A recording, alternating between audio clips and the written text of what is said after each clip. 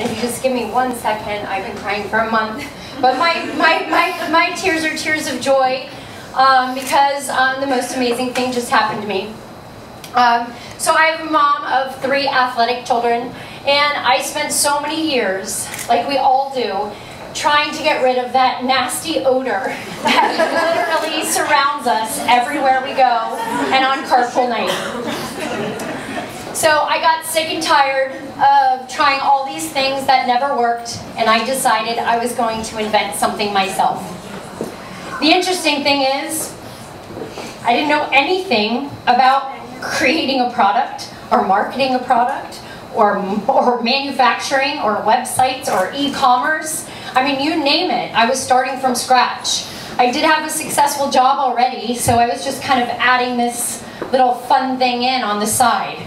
Um, what turned to fun, uh, what was started as fun, turned to work very quickly. So I did invent that product. And not only did I invent that product, but it was awesome. um, and it, within eight months, I found myself on the Today Show having to pre present my story and sell my product. They gave me one minute, and I won the next big thing on the Today Show.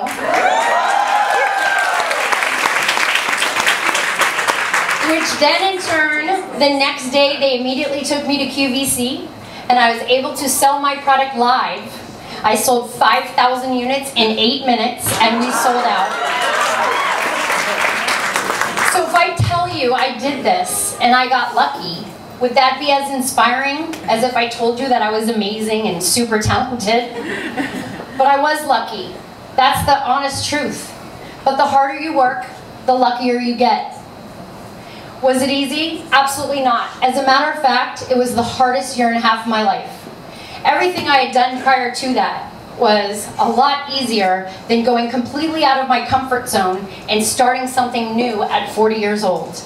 I had my children watching every step that I made, and I was not going to let them down.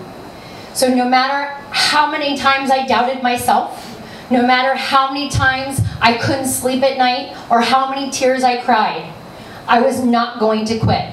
I kept pushing. And the reason is because a mother is not about me. It's about we. It's about knowing your strengths and your limitations and being humble enough to ask questions when you need to. It's about teaching our kids that life can be hard, but guess what? We can do hard things. So let's um, let's, I'm just relishing in this moment as I've um, done this and I feel like I'm sitting in a room of such amazing, talented people and we don't even know what our talents are unless we challenge ourselves and we take risks. This never would have happened if I didn't just put one foot in front of the other and ask questions and build relationships with all those people around me. Thank you.